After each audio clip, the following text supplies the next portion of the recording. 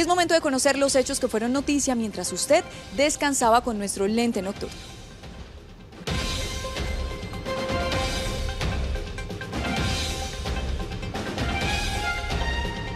El lente nocturno le cuenta a usted lo que sucedió en la noche mientras usted descansaba.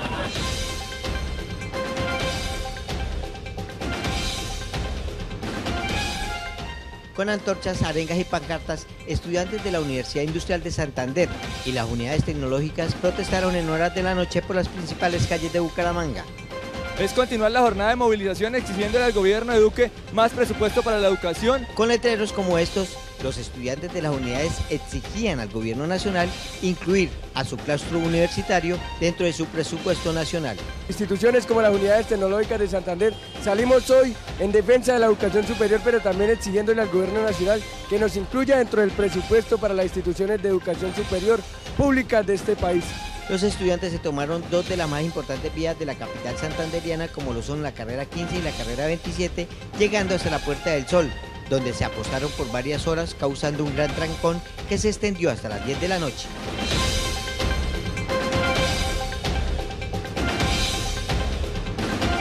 Según el padre de la víctima, su hijo le pidió permiso para ir al parque temático de Piedecuesta a montar en bicicleta. Allí fue sorprendido por el desconocido, quien sin mediar palabra alguna lo agredió con un arma cortopunzante. Se fue a montar cicla, después me llamaron los amigos que lo habían apuñaleado.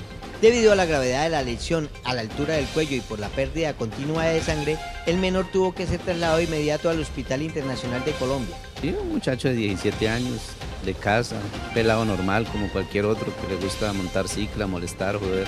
Según versiones de algunos testigos, las autoridades, el posible responsable del ataque sería un reconocido delincuente del sector.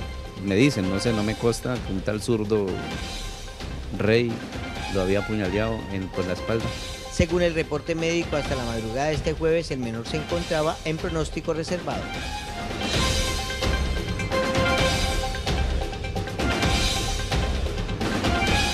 Amedrentando a los trabajadores de la estación de gasolina ubicada en la carrera 15 con calle 56, delincuentes hurtaron parte del dinero que hasta el momento se había hecho producto de la venta del combustible. Al lugar llegó la policía del cuadrante, quienes indagando sobre cómo se había presentado el asalto y según testigos los malhechores quienes se desplazaban a pie se llevaron dos sobres de dinero y parte de efectivo que estaba en una caja. Las autoridades iniciaron un plan candado para poder dar con la captura de los delincuentes.